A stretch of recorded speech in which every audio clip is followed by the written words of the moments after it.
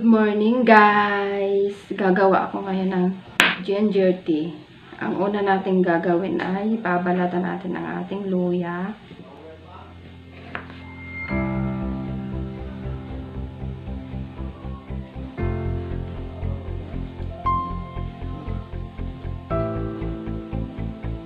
Ito lang guys ang aking iniinom tuwing umaga.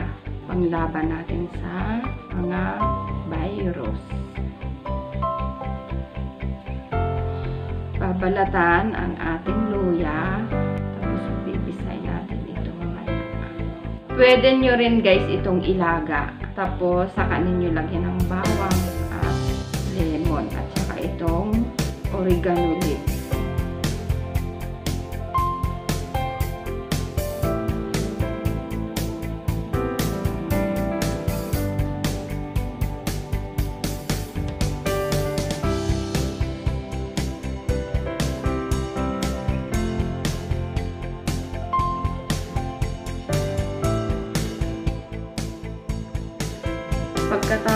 Nating balatan, hiwain po natin ng maliliit.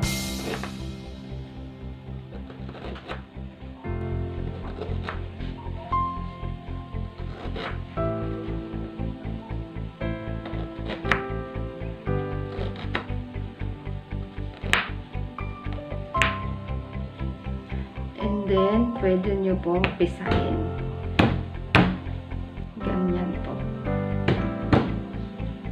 Meron kayong almires, pwede nyo doon pisain.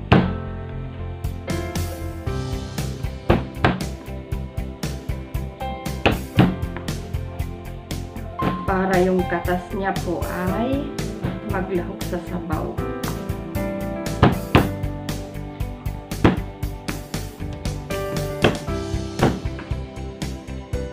And then, ilagay natin isa-isa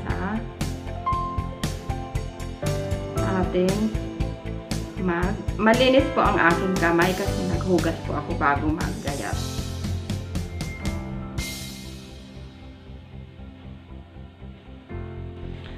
Ayan.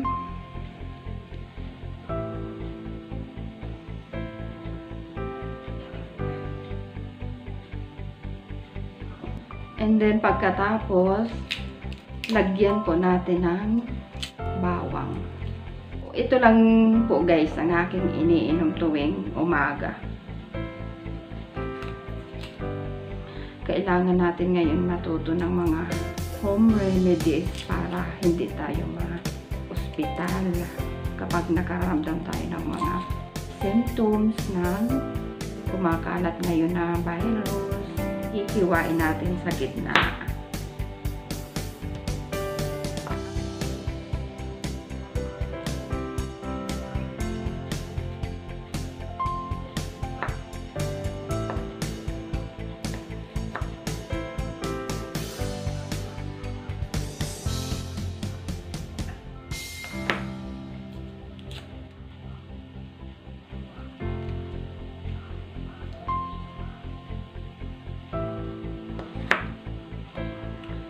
Lagyan natin siya ng tatlo. Tatlong globs ng garlic. And then, sunod natin ay lemon.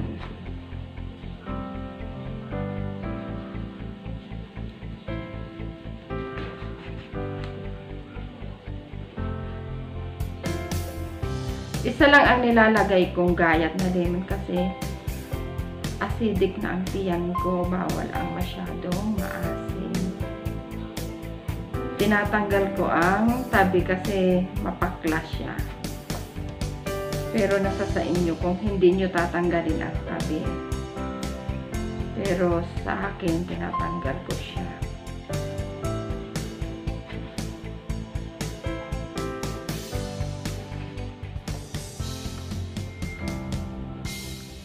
And then, ilagay natin sa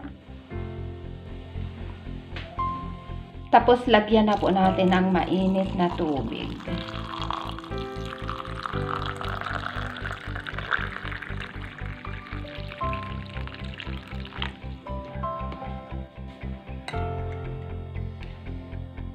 halo-haloin po natin ang mga nilagay natin sa ating mug.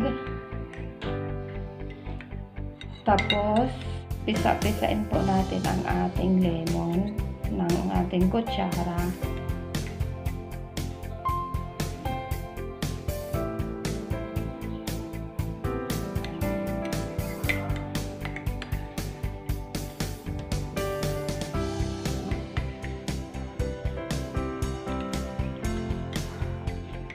Ang lemon, magandang source ng vitamin C. Tapos ang luya, nakakapagpaganda ng ating lalamunan. Nakakagaling siya sa ating lalamunan. Tapos ang garlic, mabisa siyang antibiotic. Natural antibiotic at natural anti-inflammatory. Kaya ang ating tingayon ay napakabisa. At hindi pa natatapos dyan, lalagyan ko siya ng oregano leaves.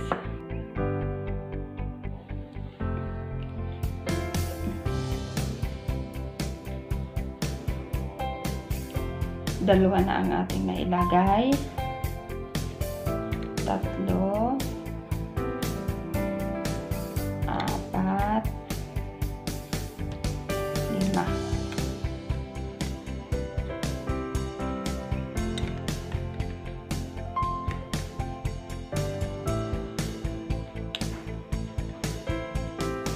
Nasa sa inyo guys kung gusto nyong lagyan ng asukal. Pero ako, hindi ko na nilalagyan siya ng asukal. Pure ko siya na iniinom na ganito. Kaya, ano pa ang iniintay nyo, subukan nyo na ito sa inyong tahanan.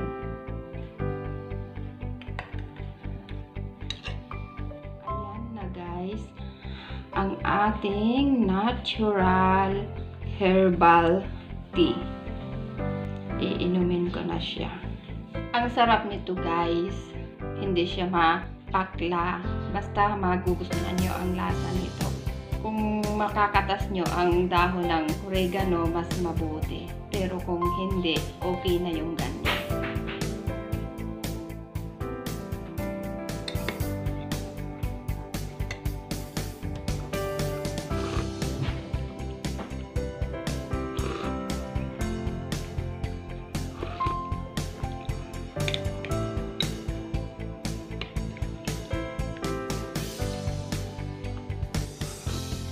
Sarap ng lasa niya, guys.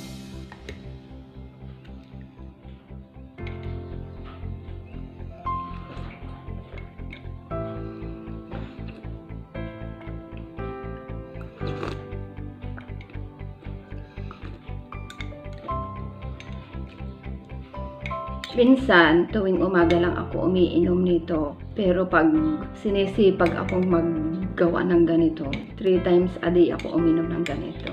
Kasi pag naubos ko itong tubig dito sa baso, ang gawa ko, tatakipan ko lang siya ng platito.